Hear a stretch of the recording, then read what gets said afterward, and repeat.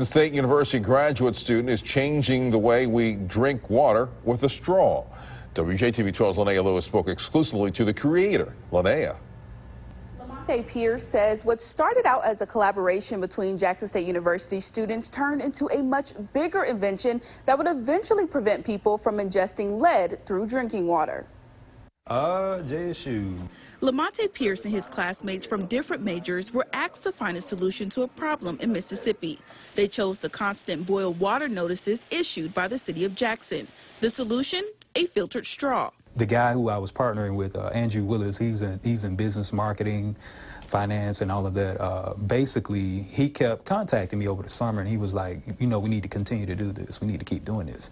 I think you hit on something big, and I think it, it'll do something. So I was like, yeah, we can try that out. For the past couple of years, Pierce says he's been researching different types of filters and materials that would be safe to use, eventually creating a prototype straw called Cleanstraww.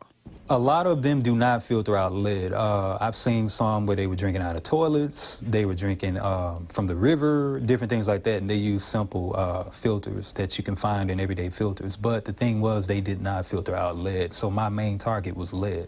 If we can filter out lead, we can pretty much filter out anything. Pierce has received impressive offers from big retailers like Walmart that would generate over $200,000 in sales. But he says he's still looking for the right investor. He's confident when one comes along, Cleanstraww will benefit the economy and consumers. Take the responsibility of clean water directly out of the government and state and city officials' hands and just put it in the hands of the consumers. If you want clean water, here you go. You don't have to wait on the, the uh, you know, the money to be right for the government to fix this, fix that. You know, here you are right here. Pierce says when everything falls in place, he has a vision to open up a factory right here in the capital city to bring in more jobs. Byron? Sounds like he's got a good plan. Thank you, Linnea.